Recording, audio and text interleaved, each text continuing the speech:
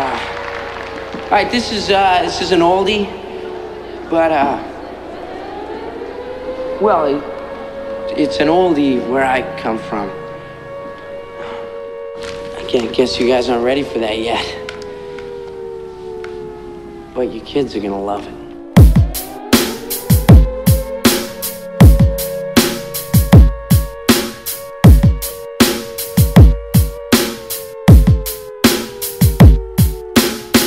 Try this experiment? Analyze the friction caused by digitally oscillating your wiener.